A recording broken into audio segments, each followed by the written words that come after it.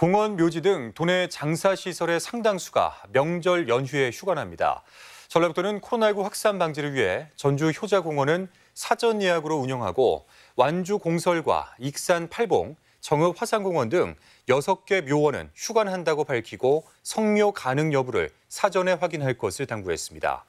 또한 전국적으로 코로나19가 확산되고 있어 이번 추석은 고향 방문과 성묘 대신 이안의 장사 정보 시스템을 활용한 온라인 비대면 성묘를 권장했습니다.